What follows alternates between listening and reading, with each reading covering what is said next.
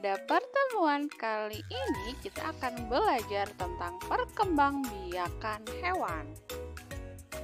Perkembangbiakan hewan secara generatif diawali dengan pembuahan yang terjadi jika sel kelamin betina dan sel kelamin jantan melebur jadi satu.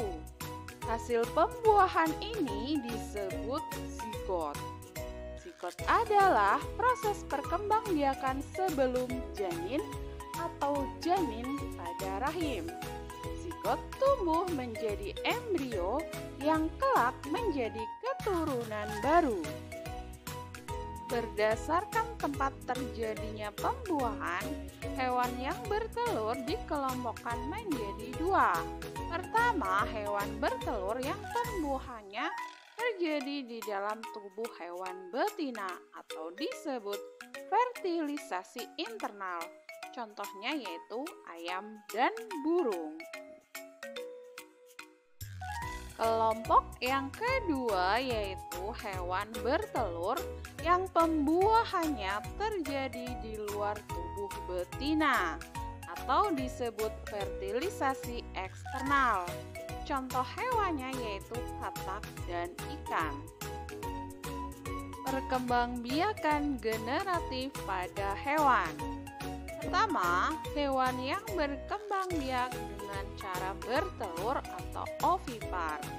Ciri-cirinya yaitu pertama, tidak mempunyai daun telinga, kedua, tidak mengalami masa mengandung, ketiga tidak memiliki kelenjar susu, dan keempat mengerami telurnya. Contoh hewannya adalah ayam, burung, dan penyu. Hewan yang berkembang biak dengan cara melahirkan atau vivipar. Ciri-cirinya yaitu pertama, memiliki daun telinga, kedua, memiliki kelenjar susu, ketiga, mengalami masa mengandung, dan yang keempat, memiliki bulu yang halus. Contoh hewannya yaitu sapi, kambing, kucing, dan kelelawar. Hewan yang berkembang biak dengan bertelur melahirkan atau disebut ovovivipar. Terjadi di dalam tubuh hewan betina, setelah itu membentuk telur. Setelah embrio tumbuh sempurna di telur, induk mengeluarkannya sebagai keturunan baru. Contoh hewannya yaitu paus, beberapa ular, dan ikan pari.